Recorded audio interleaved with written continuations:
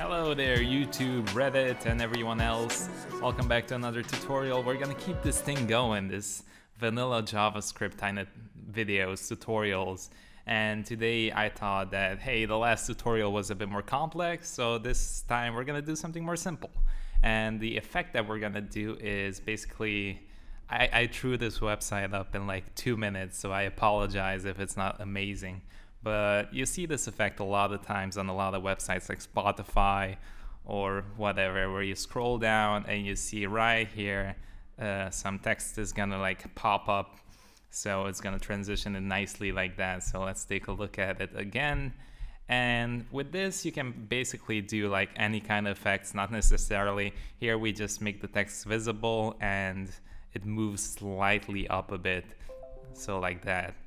Uh, sorry about that message. Um, but yeah, so let's get started. And the thing we're gonna learn with this is basically you're gonna be able to manipulate uh, where you want this text to appear, how, and what position. So yeah, let's stop wasting time and get into this. So let me pull up Visual Studio Code. I'm gonna remove everything in the JS part and I'll try to explain a bit of what's going on here. We're gonna remove this as well and this and then we can start. There we go. All right, so basically what we have here is, this is just a picture here, but this is the section that we're interested in. So just basically we have this intro here, this big div, the title appear effect, which is this one. And then we just have the intro content here with the intro text class and we just have some text here which is this. And I also just added a picture here. But it doesn't really matter. Wherever you have the content or wherever you have the picture the important thing is that we just need to select that class. Now in this example we obviously have the intro text. So this. So we want to do something with this. So whatever you have in your code make sure just to select it and you should be good all right, so before we, we start with the JavaScript, the thing we're gonna do with the JavaScript is basically add a class on top of this intro text. And whenever we scroll down and when we want the effect to happen, we're gonna add this class. So in my case, I want the text to basically uh, fade in and then just maybe move a bit up. So what I'm gonna do is firstly set the opacity at zero so we're not gonna be able to see anything right now. And then I'm gonna be transform translate y and I'll basically just push the text down a bit. So when we apply the new class it's gonna go back to zero so it's gonna jump up a bit. Now for that to look nicely of course we have to add a transition. So this is basically just gonna make it look like smooth, right? So I wanna transition this, let's say 0.5 seconds. We can change this if we don't like the way it looks. And we're gonna say all, because we wanna transition also the opacity and the transform. And let's just do an ease in and out. Feel free to change that if you hate it. Um, all right, so basically we have these applied. And now this is the new class we're gonna add on top of it. So I'm gonna just name this intro appear. Feel free again to add better, better uh, titles to this because mine are super vague and not very good. But hey, it's a tutorial, so don't kill me, foobar. Okay, uh, so for this, we want the opacity at one because we want to go back to to seeing the actual thing, right? And then transform, translate, and we're gonna go back to zero. Just like that. And that should do the trick actually. So there's nothing more we need to add to this. Now, if we really wanna see what happens, we can just add this manually and like this. So when we save, I guess we're not gonna be able to see this happen. But hey, okay, never mind. we're gonna we're gonna see it in JavaScript, okay? All right, so let's start. So firstly, we're gonna make a function. Uh, for this, let's just say scroll appear or something like that. because that's what we want to happen, right? When you scroll, the text is going to appear. Okay, so a function, and now we want to select this intro text, right? So I'm going to keep the name the same, so I'm just going to make a variable, and I'm going to say intro text, just like that. Is that correct? Intro text, yeah. Then we're going to say document, the query selector, intro text. So we're just basically grabbing that element. All right, for the next part, we actually want to get the distance on uh, where this text is relative to the window. So the way we're going to do that is we're going to say intro, we're going to make a new variable, and I'm going to name this intro position. And for this, we're going to get the intro text, right? So the element we have up here, and we're going to access a function called get bounding client rectangle. Uh, it's lovely, always lovely to to play around with this, but I usually always forget the name of this, so never mind. And here we're gonna access the top. So make sure to call the function here, and then we're gonna access the top property. Now, if we console log this, I did this in the last tutorial, so if you saw that one, you should know what this does. Intro position so we're gonna console log this, and then at the end, we're just gonna invoke the function here, like that.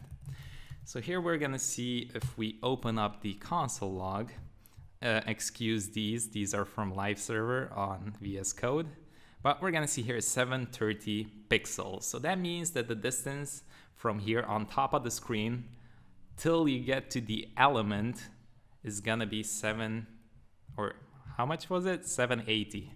Now, actually I'm gonna oh, okay so this is applied so you're not gonna be able to see it here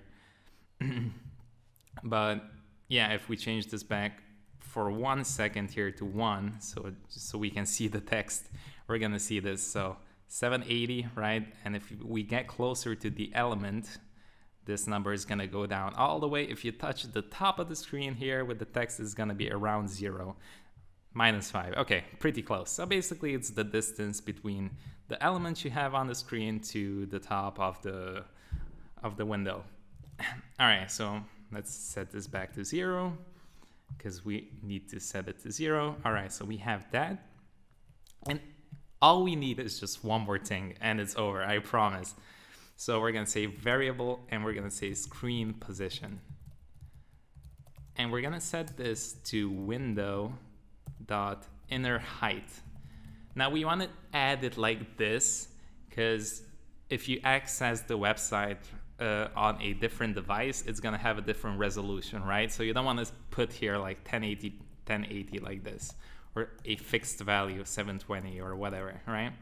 So we're gonna set window dot inner height, which is basically just gonna get uh, basically how big your screen is, right? So in my case, it's 1080 because that's my my laptop's resolution here. So that's it. Now all we have to do is basically say if, so we're gonna make an if statement, and we're gonna say if intro position is smaller than our screen position, then we wanna select the intro text, right? Because this is the element we wanna add the class to, dot class list, which makes us able to access all the classes that are on top of intro text dot add and with this we can add another class to the intro text. And here we just want to say this new class my dogs are going crazy outside. Intro appear. Intro appear like that. And that should do the trick. Now we're gonna have a bit of problems here. Let's just close this. Because right now the effect, so since our height here is, inner height is 1080, it's gonna appear, the effect is gonna start right at the end of the screen here. So if we scroll down, it's gonna pop up as soon as, never mind, it doesn't pop up. Hmm, what's going on? Intro appear, did I add that correctly? Intro appear, intro appear, okay, let's see what's wrong here. Oh no, it's not working. All right, refresh. if it's not working, you just refresh. All right, Oh, okay, I'm so stupid. It's not working because we need to add a listener here.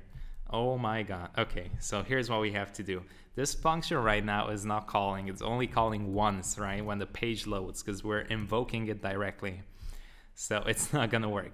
So basically what we wanna do is when we scroll, we wanna we wanna call this function every time we scroll, because this is not gonna update like this, right? But if we scroll and we run the function, all these values are gonna update.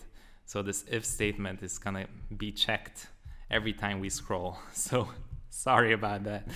hey, happens to the best of us, right? Uh, so what we're gonna do is just say window, add event listener, because we're gonna listen for a scroll event here. And comma, we're just gonna say scroll appear. There we go. Oh, we're not gonna invoke it here. Like that. There we go. So now hopefully now when we scroll, uh, it should pop up. Did you see? It popped up right at the end here because our height is 1080. Now, if we want it, let's say we want to make the effect happen right here in the center. Well, it's super easy. You just have to split this up by two. So uh, divided by 2. So if we divide this by 2, the effect is going to happen right in the middle of the screen. So let's see. So right in the center. Now again, you can play around with this with these values. I like to keep it at around 1.2 or something, 1.3 maybe. So it's not too late because I don't like to see the text pop up way too late. So now if we scroll should pop up like right about there. Maybe we can do 1.3. So if we divide this by 1.3, then let's refresh again. And yeah, something like that. Looks good. Now again, with this effect, you can pretty much, uh, this is not necessary. You can, if you want, like you can change the colors and everything. I wouldn't recommend that, like do something like, oh, let's go red here and then we're gonna change the font size to 50 pixels or something. But okay, hey, I don't know, man. Maybe you're smart and you're gonna come up with something like super genius. But yeah, probably not a good idea to do this. But feel free to experiment. Let's just say that. All right, well, that's it for me. Let's just remove this. Or if you're like, if you want to annoy everyone, I guess you can just change these values and you control everyone. So now if we scroll down and they want to read there, then you can make the text basically, oh, I meant to do this. This, this is how like you can be super annoying. So they're like, oh, what a cool picture. Let me, let me see. Oh, yeah. All right. Well, hope you enjoyed this tutorial. Hope everything was simple and clear. Again, not really super crazy. Pretty simple effect. If you have any questions about this tutorial, free, feel free to let me know down in the comments.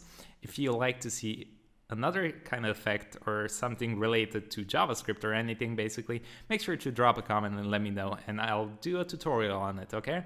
Uh, thank you again so much. Uh, and yeah, look at this interesting bubble here. It's a pretty cool bubble. Okay, I'm rambling too much. Take care, guys. Love y'all. Peace.